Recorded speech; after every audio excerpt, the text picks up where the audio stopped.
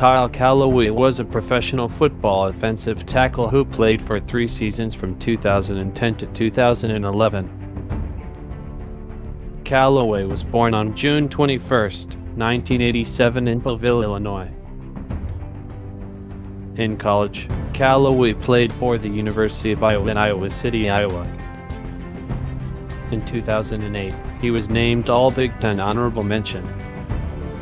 Calloway was drafted in 2010 in the 7th round as the 216th overall pick.